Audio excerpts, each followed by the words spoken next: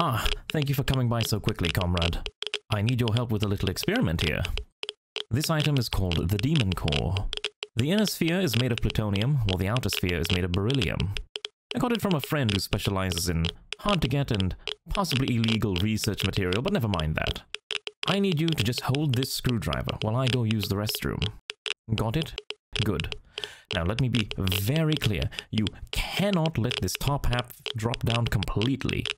If you do, you'll initiate a criticality incident, and that would be, as the kids say, very not poggers. Alright, so I'll be right back.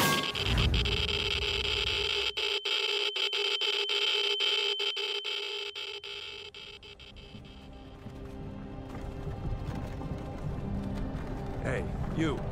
You're finally awake. You were trying to cross the border, right?